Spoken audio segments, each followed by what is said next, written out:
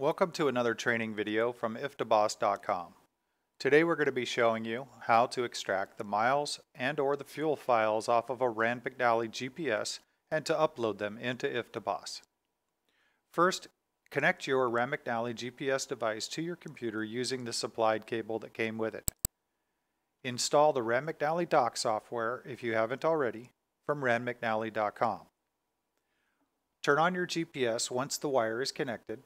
If it doesn't turn on on its own when you plug in the wire, you will see it connected with the serial number and you will see the main menu. Go to the next page and you'll click the button that says mileage and fuel. To extract the mileage file, click mileage. Choose a folder on your hard drive so that you know where it's going. And name the mileage file miles. You must choose a file type CSV as an option. You don't want to choose the Excel file version because it will not upload properly. Saving your file as miles CSV, I'm overwriting my old one, you will see it saved successfully. Do the same thing with the fuel log, naming it fuel. Choose file type CSV, fuel.csv, and save it. I'm overwriting again my old one. You're now done with the Rand McNally dock portion. Returning to iftaboss.com, log in and go to your IFTA switchboard page. There you will see a button that says Upload. Upon clicking Upload, it will walk you through the steps to upload your new file. Number one, choose the format. In this case, we're going to choose Rand McNally, of course. Choose the year that you are going to be doing. In this case, 2016, and choose the quarter. I'm going to do Q1. Select your truck number that these files came from. I'm going to say it's my truck called US1. Furthermore, you can name this upload whatever you like. In this case, I'm going to call it miles from truck US1, Q1 2016. You don't have to give it a name, but I do this because you'll find out later that it's much easier to look at your return and see what files were uploaded from which truck. Now, select the files by clicking select, and in this case, it's our miles file. Open it, and when you click upload, you will see upload completed successfully. Furthermore, we're going to upload our fuel file again for truck one and we're going to call it in this case fuel US1 2016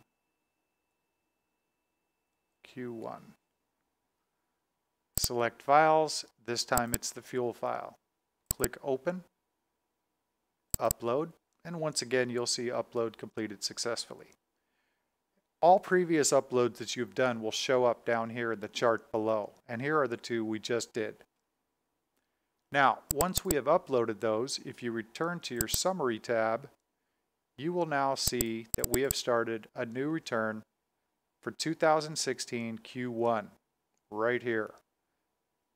This is the one that was created when we just uploaded our Rand McNally fuel and our miles files. To view that return, click on Continue or Finish this quarter. It will then take you to the calculator portion for Q1 of 2016 in my case, or to the quarter that you're doing, showing your total current tax. If you want to edit one of these uploads that just occurred. You can see them all coming off my Rand McNally device. You can see the file name that we called it. There's the miles. We go to the next page. More miles. In addition, down below, you will see our fuel upload. This is what we called it when we uploaded just a minute ago. If you want to edit one of these entries, you can. If you want to remove an entry for whatever reason, you can do that as well. If you want to add another entry that didn't come off of your Rand McNally, you can do that as well by manually entering, entering miles. You can either create a new trip number or you will see the two trips that we just created when we uploaded. So let's say I'm going to add it to my current miles without creating a new trip. We'll choose Idaho, 200 more mile, 2,000 more miles, and we'll click Save. So now you'll see that manual entry right there, 2,000 miles in Idaho, and our total tax is once again saved. Here's a pro tip for you.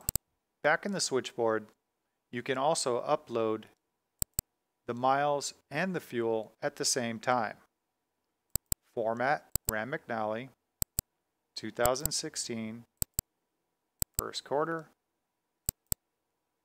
truck US 1, and we'll say miles and fuel for truck US 1, 2016 Q1. Again, you can name your trip whatever suits you. Only this time when I select files, I'm going to hold down the control key on my keyboard after clicking the first file, control, click again. You'll see I've selected both files, open, and you'll see they're both in the queue waiting to be uploaded. This time when I click upload, it's going to upload both files at once to save you some time. When we return to our summary and click to look at that quarter, we have an entirely different total tax owed because we've now uploaded two more files.